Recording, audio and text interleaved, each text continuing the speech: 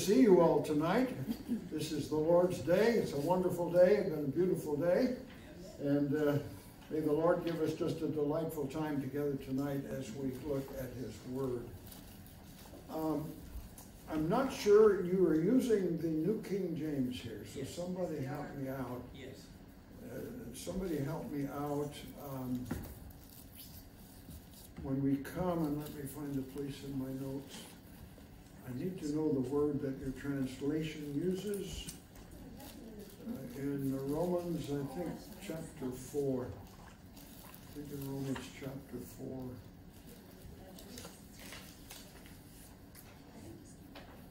Romans chapter 4 and verse number 3. Verse number 3. What does your New King James say? Does it use the same word as the Old King James? So, will somebody read me verse number 4? Four, uh, verse three, Uh, chapter 4 and verse number 3, yes. for what saith the scripture? Abraham believeth God, and it was counted unto him for righteousness. Okay, it uses the word counted. Mhm. Counted.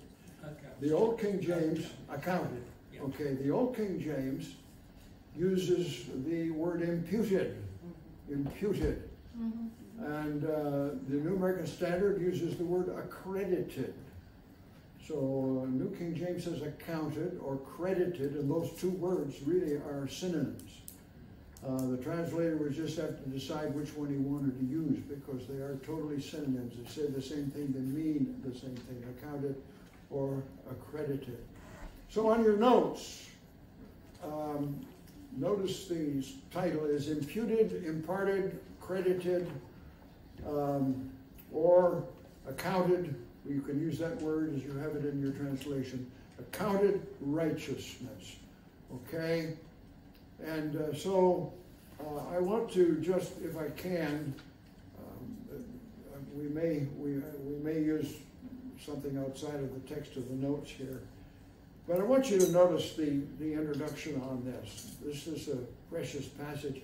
It's in 1 Corinthians chapter 2, and usually, usually, if you read this, when do you usually hear this text of Scripture used? Anybody here know?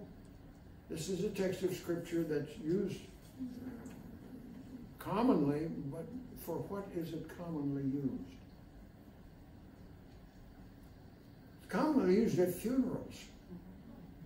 It's commonly used at funerals. Eye hath not seen, ear has not heard, neither have entered into the heart of man the things which God has prepared for those that love him. But God has revealed them unto us by his Spirit. Now, usually they say there are glories in heaven that go beyond and exceed anything we have imagined here on earth. That is true. That is true. However, First, First Corinthians, in chapter one, he's talking about the gospel. Uh, the, the, the gospel is to those who perish foolishness. To the message of the preaching of the cross is to those who perish foolishness. To us, it's the power of God. And he's talking about the message of the gospel, the wisdom of God, which is revealed in the gospel. And so when he comes to chapter 2, he says, You need to understand that this salvation that we take for granted to an unbeliever is not only foreign, they're incapable of even beginning to conceive of the greatness and the wonderful provisions. In fact, most believers don't have a grasp on the wonders of the salvation that we have in Jesus Christ. So we speak God's wisdom. Am I reading now 1 uh, Corinthians 2 7? We speak God's wisdom in a mystery. Anybody know what a mystery is? Well, a mystery is something you can't know unless God tells you what it is, unless God reveals it. All right? You don't figure it out. Your mind doesn't nor- normally, naturally go in that direction. And, and you won't understand this un- un- unless God reveals it in a specific way and tells you what it means, okay? We speak God's wisdom, and this God's wisdom has to do with the message of the gospel. Okay, that's the subject here. It's the hidden wisdom which God predestined before the ages to our glory. The wisdom which none of the rulers of this age has understood. A pagan world just can't get a hold of this. Pagan world cannot. It doesn't make sense to a pagan world. If God, for in fact, it doesn't make sense to me in a sense. Can you tell me why God should love a person like me? The hymn writer put that God should love a sinner such as I. How wonderful is love like this? When you, when you stop and you think about this, okay? So, so the pagan world doesn't understand it at all. If they had understood it, they would not have crucified the Lord of glory, and that they did. But just as it is written, things which eye has not seen, ear has not heard, have not entered into the heart of man all that God has prepared for those that love him. For God has revealed them through the Spirit, for the Spirit searches all things, even the depths or the deeps of God. Now, how, how deep is the um, deepest ocean? I, I, I asked um, I asked Google about that, and they said seven miles. The, the deeps of the ocean go seven miles at, at, at its deepest place. How deep has God buried your sins? Beyond the deeps. The deeps of God. And, and this salvation that we have is just beyond our comprehension. I challenge preachers, I do it often, and recently I did it, and uh, I challenge preachers to, to study in depth the salvation words of the New Testament. And if you want to do a Bible study that is rich and that will bless you and excite you and thrill you and really change you from a Baptist to a Pentecostal. Uh, um, study the great salvation words of the New Testament, the deeps of God, and, and the wonderful truths that we have.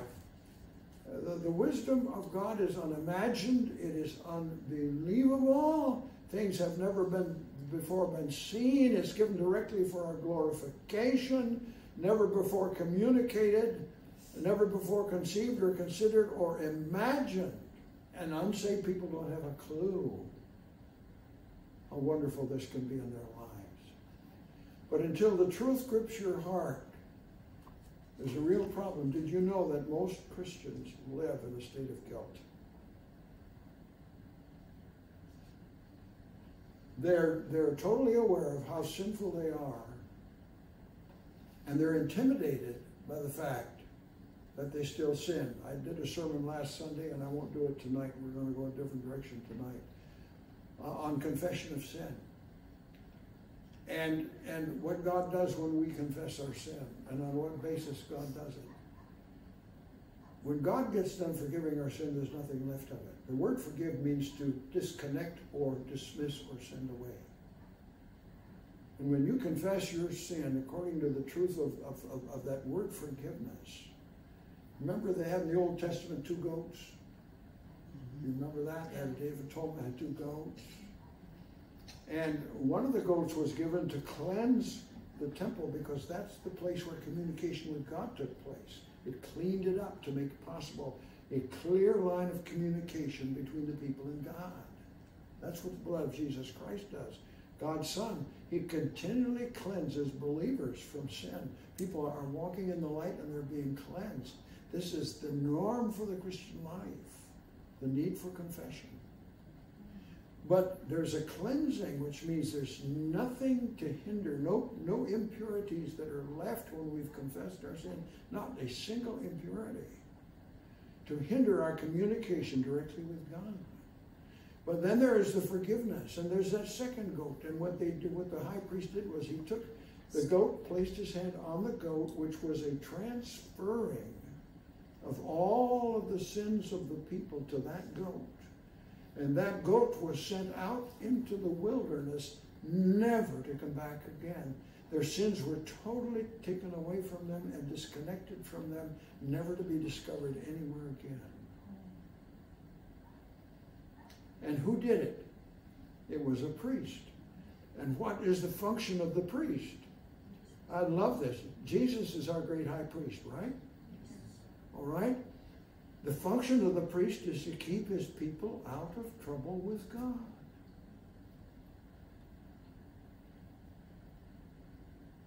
So we should not be living in guilt. We should not be intimidated by sin that has been taken care of. And we're going to get into one aspect of how God has taken care of our need for righteousness in our relationship with Him. How do we get good enough? How in the world can God accept us? How in the world can we have free access to God in prayer? How can God take a sinner such like me and give me assurance, blessed assurance, Jesus is mine, a foretaste of what? Glory divine. Whom, uh, whom, whom, he, whom he called, he justified. Whom he justified, he glorified. God's, God's destiny for us is glorification. Now, how in the world can he do this? See? On what basis can he do this legitimately? Because we all know sin is wrong.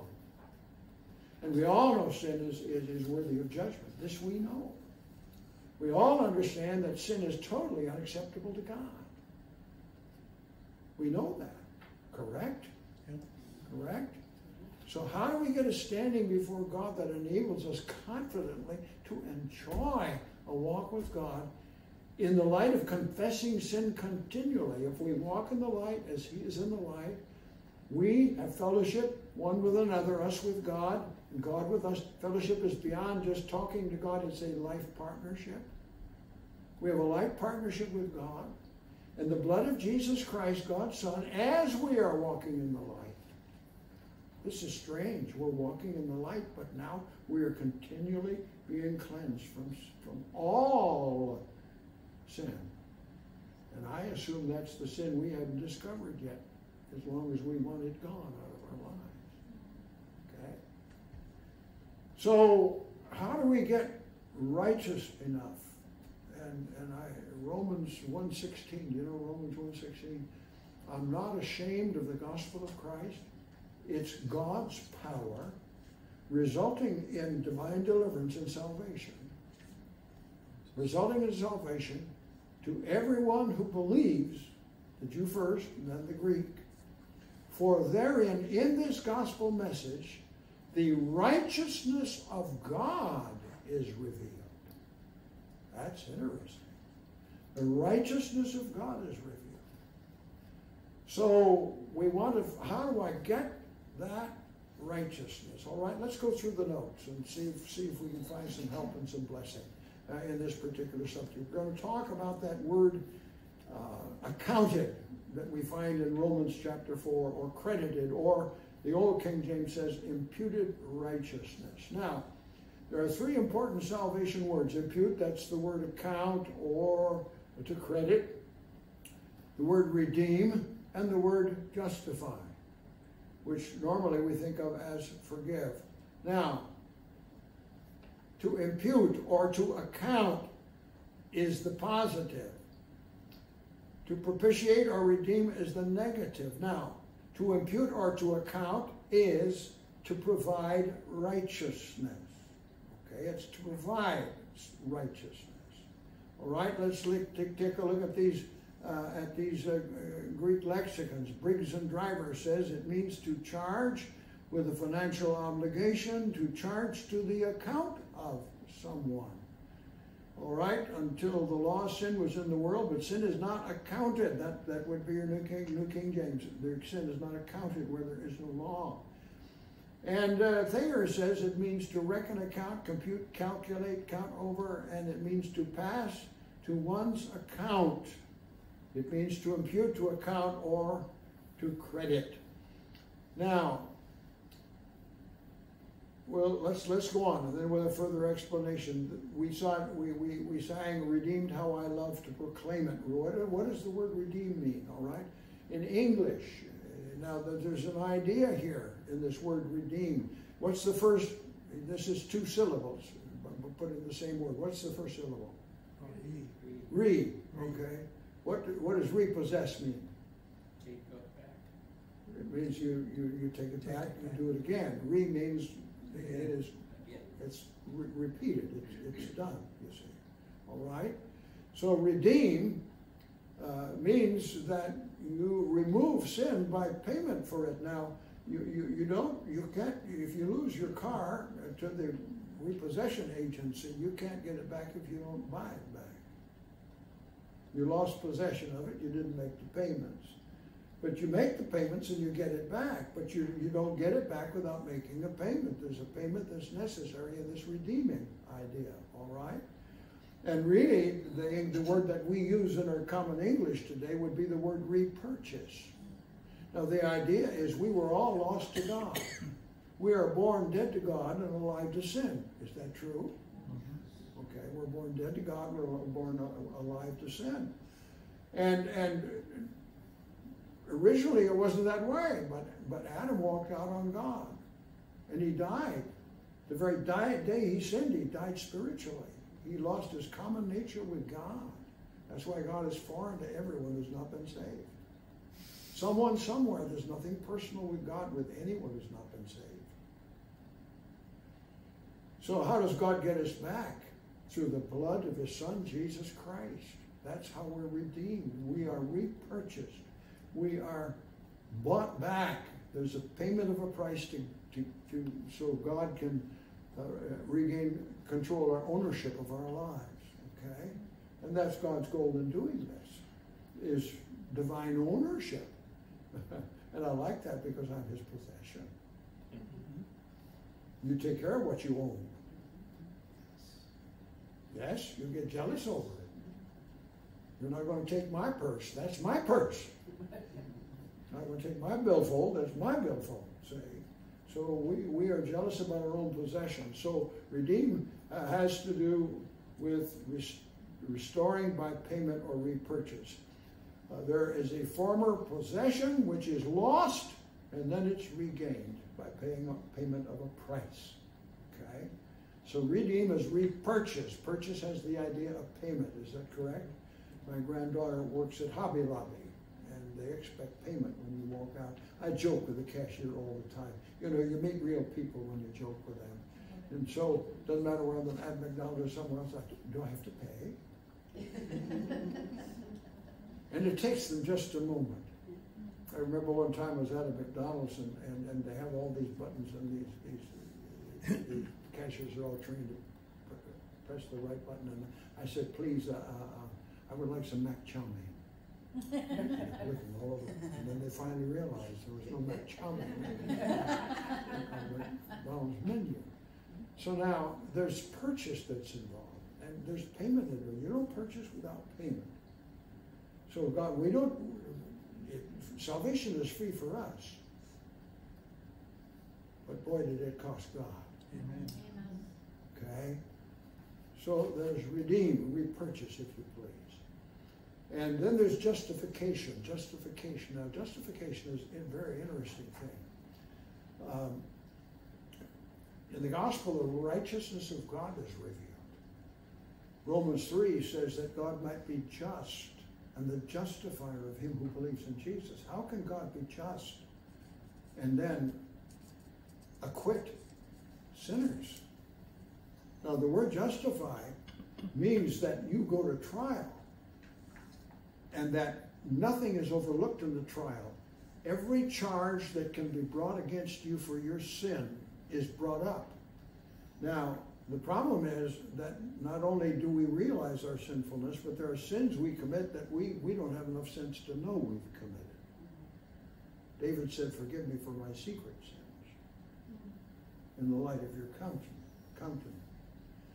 So, so these, these, these, these sins, everyone has to be accounted for. May I ask you, how many sins did it take to ruin creation? How many sins would it take to ruin heaven? Think about that. How many? A dozen? A thousand? How many sins would it take to ruin heaven? One. How many sins can God let get into heaven? None. But there's none righteous, no, not one. So the problem is, how in the world do we get in? So then we look at the work of the cross. We talked about that this morning. For how many of our sins did Jesus die? 90%. Fifty percent?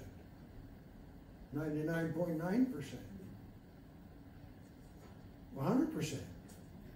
Okay, so now, how much of the payment did he make for that hundred percent of all our sins? How much of the payment was made?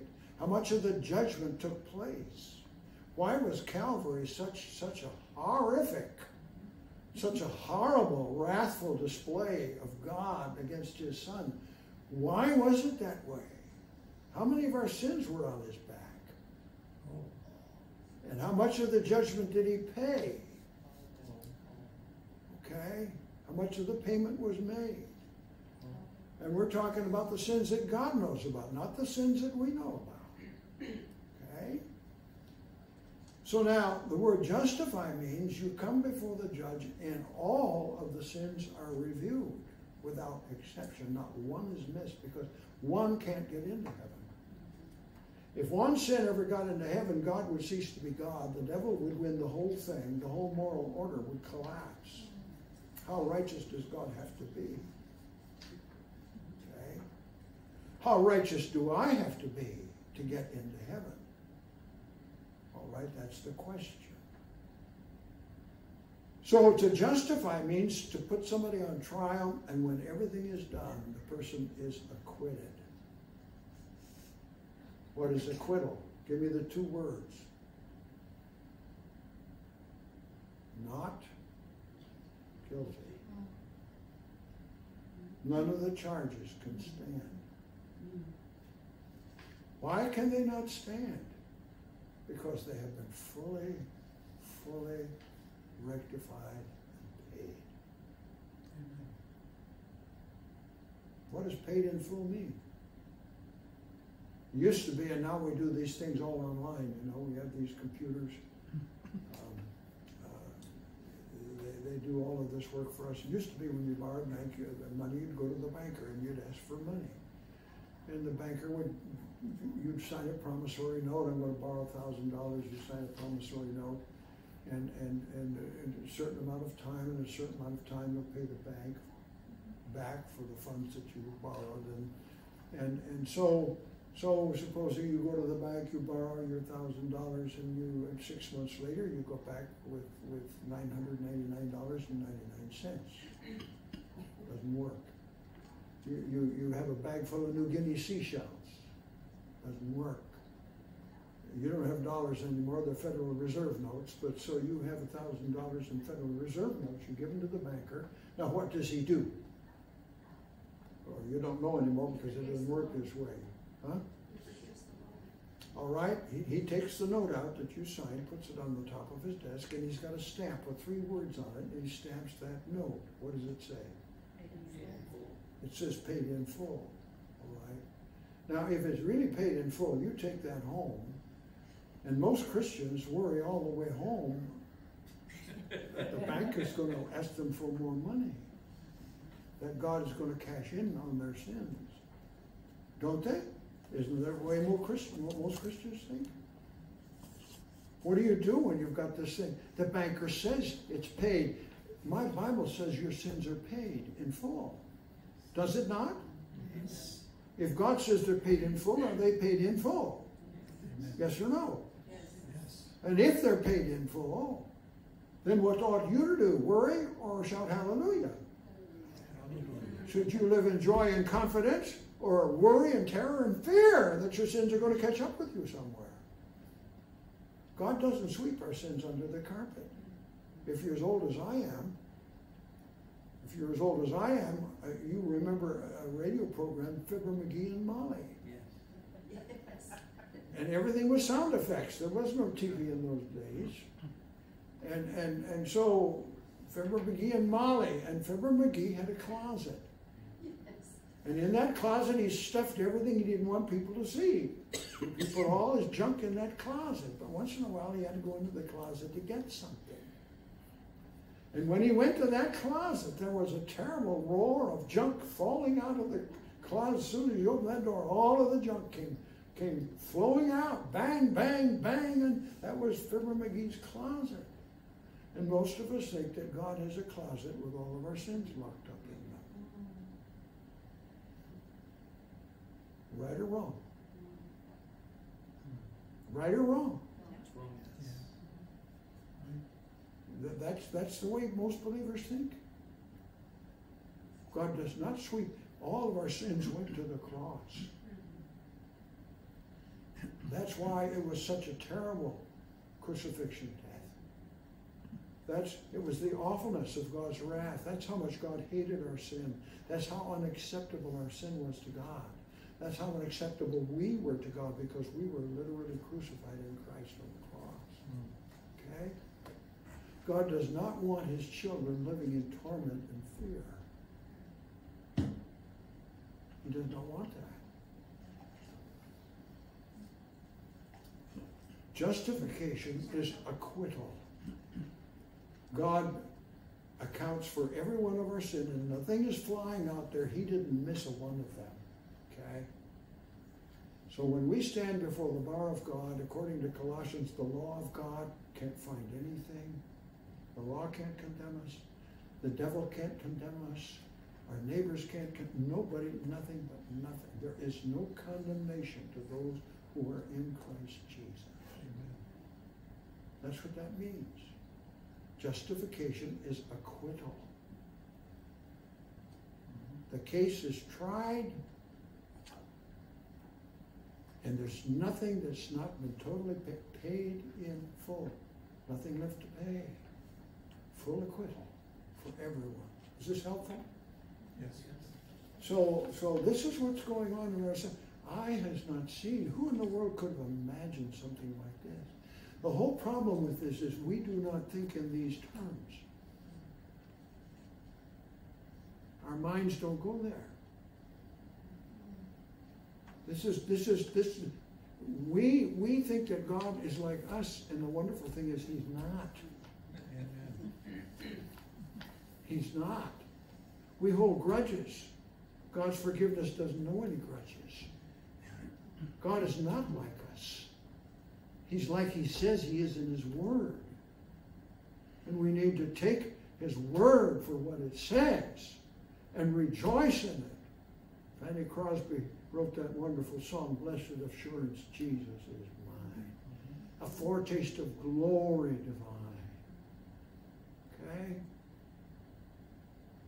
Now, impute then is an accounting term. Impute is an accounting term. This is the word note. You'll notice two thirds, two thirds of the way down your page, just below that, that yellow highlight. There's a number three, and then there's a note. All right, take a look at the note. Impute is a term of a term of accounting. The word account is the same word as impute. Okay, it means to put into one's account. To put into one's account. Most of us have a bank account. Some people don't, but most people have a bank account.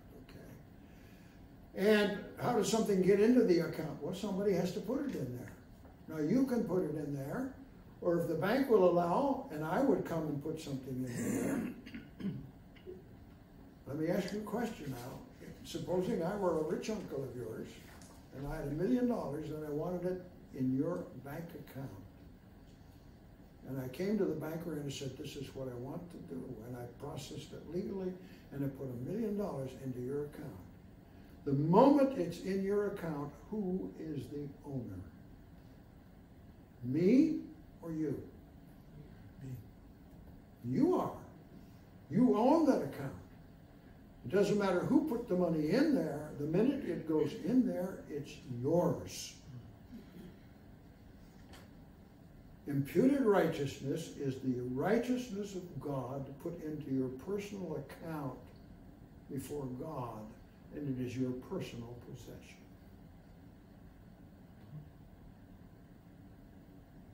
Doesn't make sense. We don't operate this way. Eye has not seen, ear has not heard, it hasn't entered into the heart of man the things God has prepared for those that love Him. Okay? Mm-hmm. Now, we retain full ownership. Now, let's take a look at the bottom of the page here. What, what time do you want to be out here tonight? Ten o'clock, eleven, twelve? Okay. Okay, well, let's proceed on. I've still got some time here. The clock is friendly right tonight. I have, I have two definitions for cruel and unusual punishment. One is the clock, and the other is the calendar. All right. What kind of righteousness does God require? There are two totally different kinds of righteousness of which we read in the Word of God. Number one is man's own personal righteousness. That's what I produce. That's what comes out. By the way, can you get clean water out of a dirty pipe? No. And can you get righteous deeds out of a sinful heart? Perfectly righteous deeds out of a sinful heart. Won't happen. Won't happen. All right, so you have man's own personal, but then you have God's righteousness, okay? And Paul said there's a problem here because some people don't understand God's righteousness is perfect, and they think that that that their own imperfect and soiled and sinful righteousness is good enough for God. And Paul said that won't work. All right, Romans 10:1. Let's look at it. Look at the second paragraph there on the bottom of the page. Read along in the scripture with me. Brethren, my heart's desire and my prayer to God for Israel, that's them as Israel, is for their salvation. I testify about them that they have a zeal for God. They're sincere, but not in accordance with knowledge, not in accordance with truth. For not knowing, now these people don't understand, not knowing about God's righteousness and seeking to establish their own, they did not subject themselves to the righteousness of God. Hmm. In other words, if you don't have God's righteousness, you don't get into heaven. You can't conjure up a list of do's and don'ts and right things and wrong things and live according to the best you can and get into heaven. It does not work that way. How many sins get into heaven until heaven is not heaven anymore? One. One. One. Would you like to be in heaven if sin got in? Same thing would happen to the new heavens and the new earth that happened to the present earth. Correct? It would have the same effect. Okay? Now, three important issues here. There's an ignorance on page two. On page two, I'm on page two. Three important issues. Number one is ignorance of God's righteousness. Secondly, is an effort to make their own personal righteousness the standard of measurement, which is fatal. And number three, an unwillingness to accept and submit to God's standard of perfect righteousness. Question What is the level of perfection required? How many sins can God per permit to enter into his new heaven and new earth?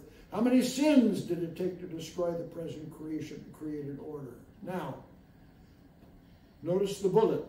Personal righteousness can only be measured in terms of how well we measure up to the law of God. Now, this is interesting. Hold that place in your notes. This is very, very interesting. If you talk to the average person on the street, you hope to go, and go to heaven if you die, all right? The average person would say what? Yeah. Hope so. So, Would like to, okay? And you say, well, how do you hope to get to heaven? Well, you know, uh, do good to your neighbor, uh, keep the Ten Commandments. Okay, now the problem is this. How in the world can the commandments prove that you belong in heaven when you don't keep them? When you break them, how can a broken law prove that you belong in heaven? Think that one through. That won't work. But officer, I was only going 90 miles an hour in a 30 mile an hour zone. I tried to keep the law. You broke it. You don't get away with breaking the law. This is the problem with this whole thing of the ten. Have any of you, for one single day, kept all of the commandments perfect? And if you haven't, then how in the world can that law, which you've broken and broken and broken and broken, prove to God that you belong in heaven? It can only prove to God you don't belong there and you won't get there. This is why, if, if you think God accepts you because of how good you live, no, no, no, no, no, no, no. None of us live a life apart from the work of the Spirit of God in our life. None of us, none of us, but none of us earn the favor of God by how we live. We earn the favor of God by accepting Jesus Christ, letting the Spirit of God work the righteousness of Jesus Christ in our life as best we will allow. We don't measure up. We don't have access to God because we had a good day. And we're not denied access to God because we've had a bad day. That's not how it works. That's not how, how God thinks. Personal righteousness can only be measured in terms of how well we measure up to the law of God. It is not a matter of how we measure up in comparison to other people or even in comparison to ourselves. It's, a, it's how we measure up in comparison to God. And look at that Romans text down to verse 24 being justified, that is acquitted freely, that is without charge, by his divine favor, by his grace, through the repurchase that is in Christ Jesus, whom God has set forth. God has placed and put him in place as a full payment, propitiation, a full satisfying payment through faith in his blood to declare whose righteousness? His, his righteousness. I have got to have his righteousness. And if I don't have his righteousness, it won't work. To declare his righteousness for the remission of sins that are passed through the forbearance of God, to declare, I say at this time, whose righteousness? His righteousness. That he might be both just and the justifier of him who believes in Jesus. Now, how does God view our own personal righteousness? How well do we measure up? And when you get to Romans chapter 1, you have the pagan Gentiles, and you have all of their wickedness. You come to chapter 2, and you have the religious Jews.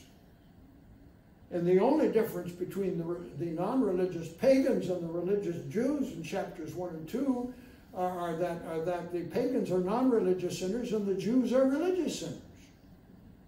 Look it through carefully. They're all sinners. And he, he draws a conclusion to all of that in, in verse number 10 in, in chapter 3. Take a look at it in your text here, in your notes. Romans 3 10. As it is written, there are only a few righteous. No, no. When God looks at it, there's none righteous. Why did Jesus have to go to the cross? Because if he didn't, nobody but nobody but nobody would make it. There's none right, not one, none who understands, none who seeks it, all gone out of the way. Look at the notes there. None that does good, not one. And the, and the Greek text is emphatic. And you'll take a look at the note beneath that, beneath that verse. The contrast with the sinless, perfect life and sacrifice of Christ who was a lamb without what? Without blemish and without spot. How perfect was the righteousness of Jesus Christ? How perfect was it? Perfectly. How perfect was it? Only perfect. Help me out. It was totally perfect. Sinless. Okay? First Peter 1.18, the second paragraph at the bottom of the page, knowing that you were not repurchased, you were not redeemed with perishable things like silver or gold from your futile way of life inherited from your forefathers, but with precious blood, as of a lamb unblemished and without spot. Okay? Now let me give you an illustration, top of page three. Top of page three. This is a powerful, powerful verse. 2 Corinthians 5.20. And I want you to read, if you will, read with me the second paragraph there, which is the New American Standard here. Therefore, we are ambassadors for Christ, as though God were making an appeal through us. We beg of you, on behalf of Christ, be reconciled to God. All right, now let's put the nouns in for the pronouns, okay? Are you with me in verse 21? Mm-hmm. Read along now. God, notice the word made, Christ, who knew how much sin? No sin, to be sin on our behalf or in our place, so that we might become the righteousness of God in Him. Whose righteousness? Whose righteousness do we get? His. God's righteousness. Is God's righteousness good enough? Amen. Is there any reason it's not acceptable to God? Are there any conditions under which God would not accept His righteousness? Or the righteousness of his son or the sacrifice of his son. Is there anything, any condition under which God would not do that? All right? Ready for an illustration? Okay. let's say that, let's have a ledger. They don't have ledger books anymore, anymore. Um,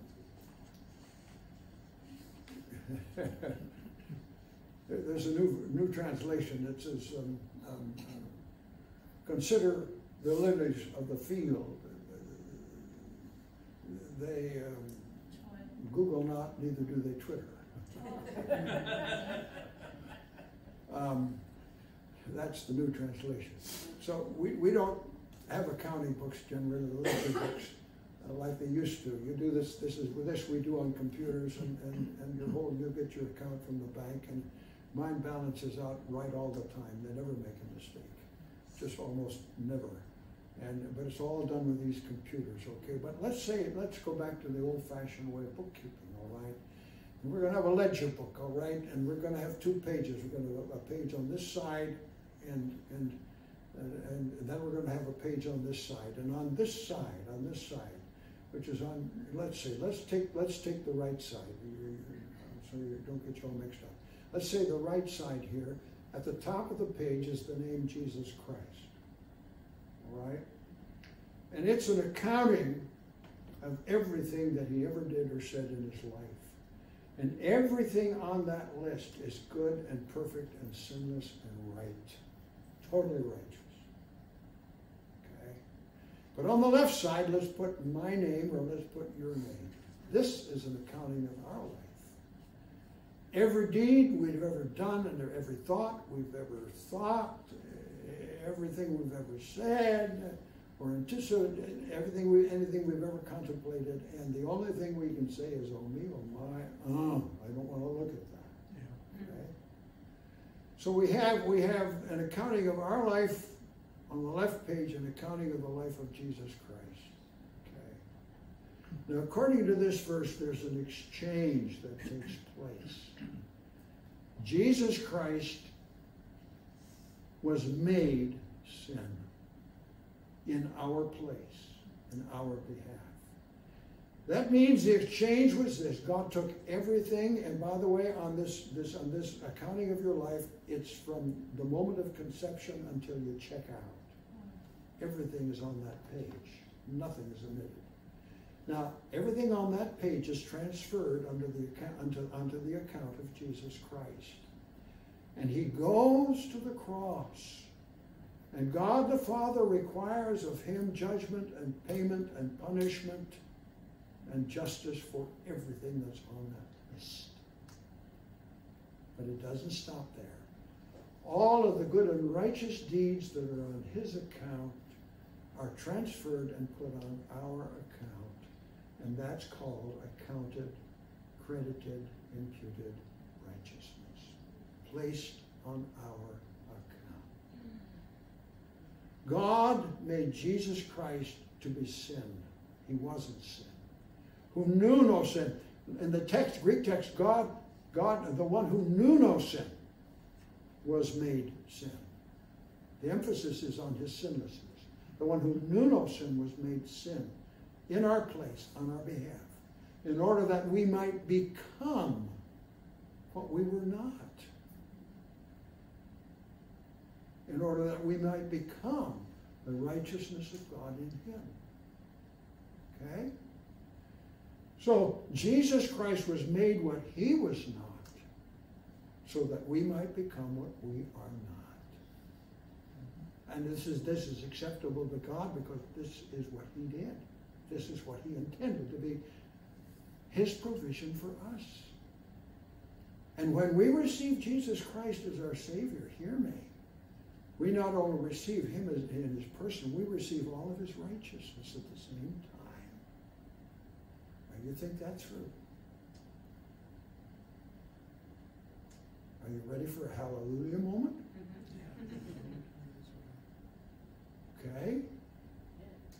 When we receive Christ, we receive his life, we receive his righteousness. His life is eternal. How do you, if you don't have Christ, you don't have life, John said. He who has the Son has life. He who does not have the Son does not have life. I've written these things to you who have believed on the name of the Son of God that you might know that you have eternal life. and that you might believe on the name of the Son of God. When we receive him, we get everything that he is. Yes or no? Yes. Yes. We don't get what part of what he is, we get everything of what he is. Okay? So,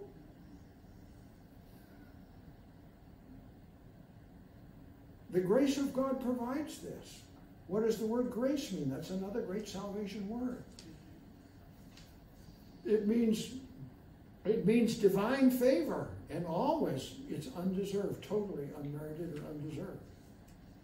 Notice three things about the grace of God in your notes. Number one is unmerited, you can never deserve it. Number two, it's unearned, you can't earn it. No, there is no amount of works that can bring God divine favor to you. Divine favor is given through Jesus Christ. That's why there's no other way. There's no other name under heaven given among men whereby we must be saved. He's the only one who provides what God requires. Nothing else and no one else does. And the grace of God is inexhaustible. Study it. You can't wear it out and you can't run out of the favor of God. It doesn't matter who you are and what you do. Now, my last name is Innes.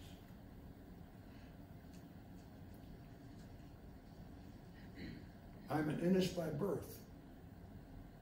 I didn't become an Innes by trying and striving and working to become an Innes. I was born into the family. Okay? My last name is Innes. Now, I am therefore in direct personal relationship with my mother and my father and my family because I'm birthed into that relationship. It is not a works relationship, it is a birth relationship that can never be, never be changed. It doesn't matter if I rob banks and I kill and I murder and do drugs, I still have my dad's and mom's life in me. Now, I can never lose my life relationship with my parents, but I can lose my fellowship with my parents. Okay? I can get out of sorts with my parents. And it's a tragedy when we, as believers, let sin pile up in our lives, but we are still believers. So, the grace of God always is without limit. There's no cap on it. And if there was, none of us would be here tonight. Yes or no?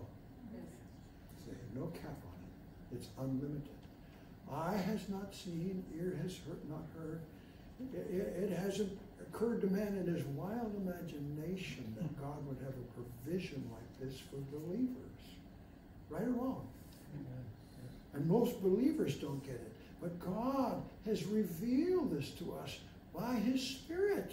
Because His Spirit searches the deeps of God.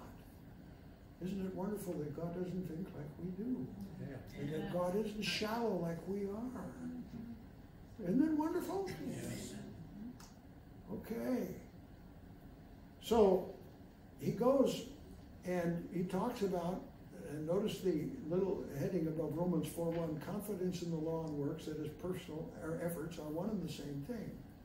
Can these save us? Or is it faith that is confidence in the supernatural works of a supernatural God? How is it that we have salvation, you see, through the law or by faith in Jesus Christ?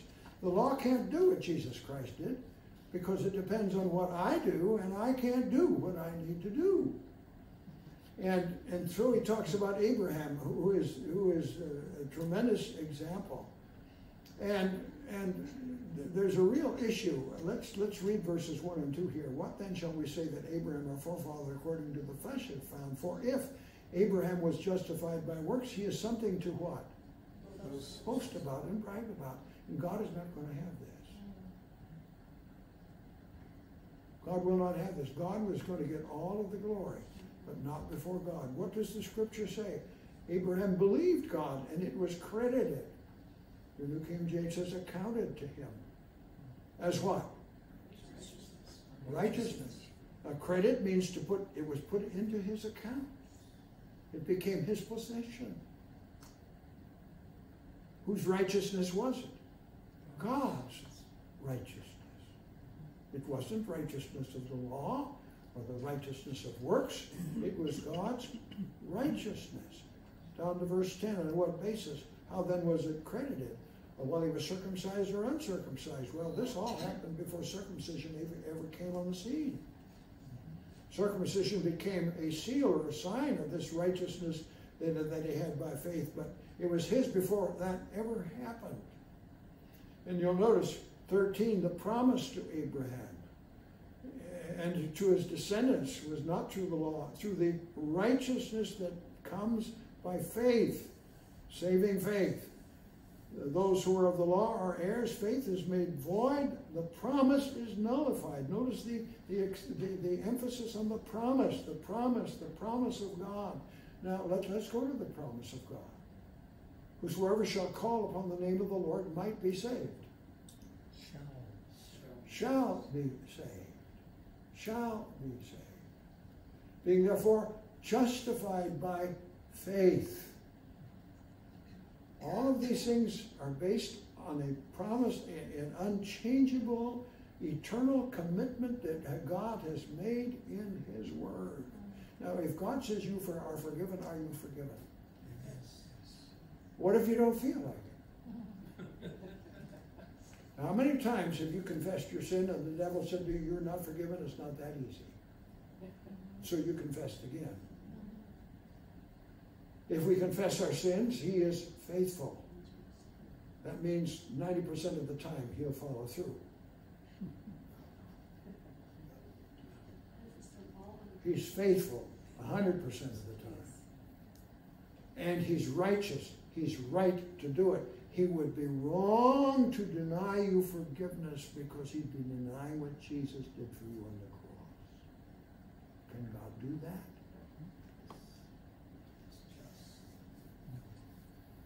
Can God do that? God cannot do that. He's faithful and he's just. So you have the emphasis on the promise of God and the confidence and assurance. In verse 23 at the bottom of the page, not for his sake only was it written that it was credited to him, but for our sake also to whom it will be credited as those who believe in him who raised Jesus our Lord from the dead, he who was delivered over because of our transgressions and was raised because of our justification. You have on page four the problem, the problem, the problem of seeking to attain this right, the standard of righteousness by works. Go to down to verse 10 and on page 4, verse 10, cursed is everyone who does not continue in everything, in all things that are written in the book of law to do them. No man is justified by the law in the sight of God, the just shall live by faith. Notice the note at the bottom of that, the scripture text. The law is here is totally disconnected from Abraham's faith. His confidence was not in the law of God, but in God's messianic offspring and his work of salvation through the supernatural work of God. The note under there, it is only in the perfect keeping of the law that a person can attain righteousness. A law that is broken can never make a person righteous. Now, do you have Jesus Christ? If you do, you have imputed righteousness. You have his righteousness credited by faith to your. And I have bulleted here, follow this down with me. Profound and blessed results that come from embracing this amazing and wonderful truth. The absolute, notice the word absolute assurance of the forgiveness of sins. The absolute assurance of eternal life. Going to heaven when you die. The absolute assurance that God is on our side. Bold and free access to God in prayer and the throne of grace at the end of a bad day as well as the end of a good day. Confidence and joy in our walk with God. Does God want us to enjoy Him? Does He want to be an ogre or a blessed Father to us? What is His desire? An absolute confidence and assurance that God will work everything in our lives to our good and to his glory. What a God. And what a salvation. Credited righteousness. An exchange of accounts. Our sins are on his account, and his righteousness is on our account. And the righteousness on our account is God's.